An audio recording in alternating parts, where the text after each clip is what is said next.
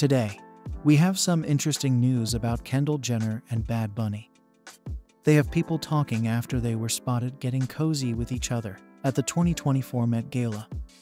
Let's get into the specifics. The odds appear to be in favor of former Flames Bad Bunny and Kendall Jenner running into each other at the 2024 Met Gala.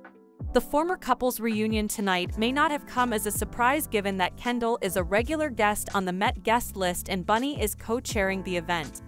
At Emily Ratajkowski's after party, the two were seen cuddling and getting close on the sofa. A picture of them shows them smiling while seated next to one another. The couple had gotten back together before, after their breakup in the past. The two went to Barbados as a group to celebrate New Year's. But at the time, a source disclosed that Jenner and Bunny are not back together and did not go on the same flight. Early in 2023, rumors of Jenner and Bunny's romance began to circulate. In March of last year, a paparazzi picture featuring the couple kissing validated their relationship. Except for occasional public appearances at prestigious events like Coachella and NBA games, the two mainly avoided drawing attention to the details of their relationship.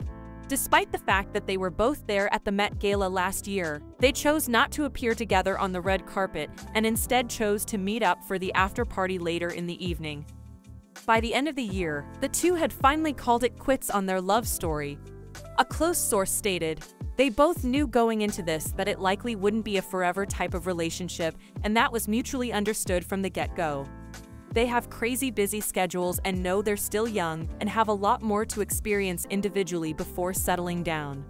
Tell us in the comments what you feel about Kendall and Bad Bunny's relationship. Do you think they will date again? Don't forget to like the video and subscribe to the channel for more updates on what's happening with your favorite stars.